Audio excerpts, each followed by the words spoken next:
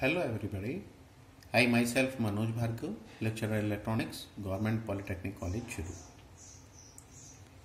पिछली क्लास में हमने डिस्कस किया था कांस्टेंट के लो पास फ़िल्टर के बारे में। आज हम बात करेंगे कांस्टेंट के हाई पास फ़िल्टर के बारे में। जैसा कि लो पास कांस्टेंट के लो पास फ़िल्टर को भी हमने डिवाइड किया था टी सेक्शन और पाई सेक्शन में। उसी तरह कांस्टेंट के हाई पास फ़िल्टर को भी हम डिवाइड करते हैं टी सेक्शन और पाई सेक्शन में। टी सेक्शन में जो सीरीज़ इंपिडेंस था, वो कुल मिला के जेड वन होना चाहिए। उसको ही ध्यान में रखते हुए और शंट इंपिडेंस हमारा जेड टू होना चाहिए। हमने यहाँ पर Z one by two Z one by two में टू डिवाइड करके टोटल सीरीज़ इंपिडेंस आपका जेड वन हो गया। इसी तरह से शंट इंपिडेंस आपका जेड टू हो गया। क्योंकि सी लगा हुआ है तो कुल जो यहाँ पर कैपेसिटर लगेगा, वो टू सी वैल्यू का लगेगा और इंडक्टर का मान आएगा एल इसी तरह पाई सेक्शन में सीरीज़ इंपिडेंस जेड वन होगा, shunt impedance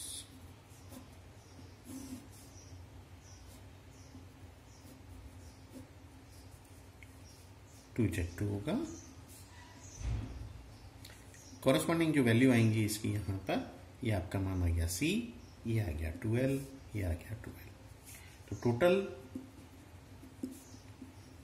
series impedance in both cases अगर हम देखें जेड वन का मान आपका आया one upon G omega C इसी तरह से total shunt impedance Z two का मान आपका आया G omega L constant K filters के लिए जो कंडीशन हमने अप्लाई करी थी Z one Z two should be constant का स्क्वायर और आर ज़ीरो का स्क्वायर के बराबर होना चाहिए। जेड वन जेड टू का मान निकाला हमने। One upon G omega C G omega L ये आपका आ गया L by C R zero का स्क्वायर के बराबर। मीन्स आर ज़ीरो बराबर under root L upon C तो ये कंडीशन हमने यहाँ पे निकाल ली कैरेक्टरिस्टिक इम्पिडेंस जो है वो अंडर रूट एल के बराबर होगा बात करते हैं हम कांस्टेंट के लो पास हाई पास फ़िल्टर के पास बैंड के बारे में। तो फोर पास बैंड क्या कंडीशन अपन ने पिछली बार अप्लाई करी थी? Minus one Z one upon four Z two जो Z one upon four Z two का मान है पास बैंड के लिए ज़ीरो और माइनस वन के बीच में लाई करना चाहिए। सबसे पहले मैं Z one upon four Z two को माइनस वन के बराबर रखता हूँ यहाँ पे। Z one is one upon G omega C Z two is J omega L value यहाँ पे पुट की हमने। तो ये जो मान आया आपका, ये आ गया one upon four omega square L C is equal to minus one इसका मतलब ओमेगा का मान आ गया आपका one upon two under root L C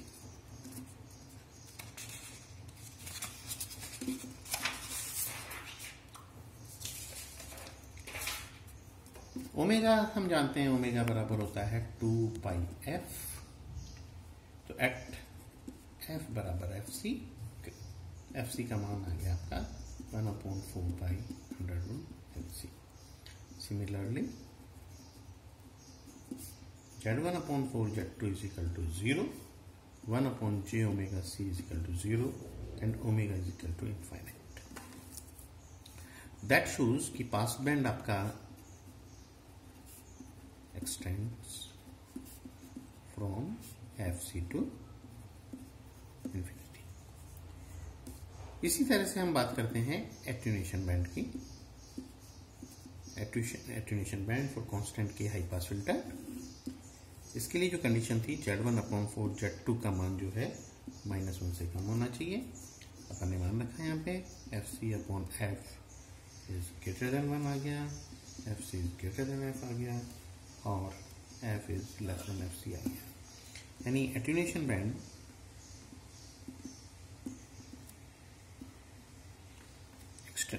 आपका एक्सटेंड हो रहा है zero to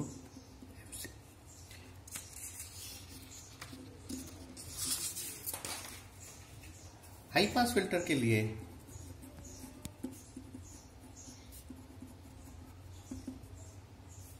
हमने यहाँ पर देखा आर ज़ीरो का मान जो था वो under root L upon C के बराबर था।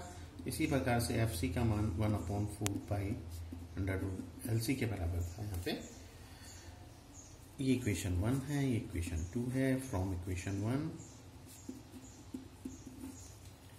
R zero square is equal to L upon C या सी बराबर आ गया आपका L upon R zero square इसको यहाँ पे इक्वेशन दो में मैंने पुट कर दिया। तो जो एफ़ सी का मान आया है यहाँ पे one upon four pi under root L L upon R zero square R zero upon four pi L और L is equal to R zero upon four pi F C L का मान निकाल लिया। इसी प्रकार से सी के लिए। सी बराबर था एल अपॉन आर ज़ीरो का स्क्वायर। हमने एल का मान यहाँ पे रख दिया। तो ये जो मान आया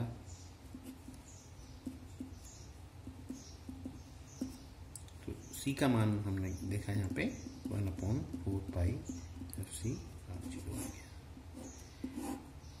तो आर ज़ीरो का मान हमको पता है एफ़ सी का अगर हमको मान पता है तो हम एल और सी का मान आसानी से निकाल सकते हैं। हम एक यहाँ पर एक न्यूमेरिकल प्रॉब्लम डिस्कस करते हैं।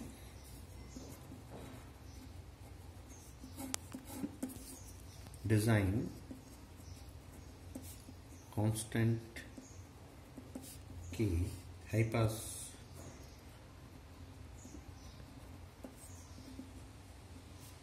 T section and pi section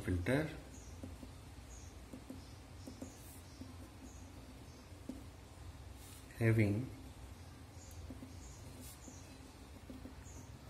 cutoff frequency of 6 kilohertz and R zero दिया हुआ है 600 ओम। तो इससे एल का मान हमारे पास में आ जाएगा। L R zero upon four pi F C मान यहाँ पे पुट कर दिया 600 डिवाइडेड बाय फोर पाई गुणा सिक्स थाउज़ेंड इसका मान आ गया आपका 7.962 मिली हेनरी इसी प्रकार से सी हमने देखा four pi F C R zero था। मान पुटअप किया हमने one upon four pi six hundred ये मान आ गया आपका point zero two two one two micro अब हम यहाँ पे डिज़ाइन करते हैं। टी सेक्शन टी सेक्शन में क्या आ जाएगा?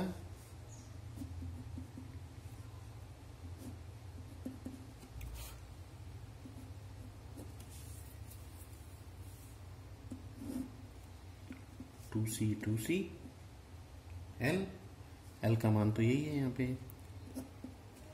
7.962 मिली हेनरी, और इनके मान आ जाएँगे।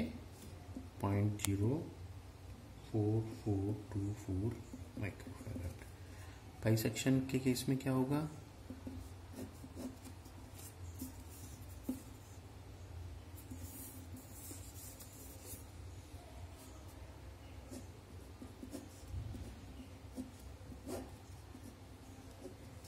सी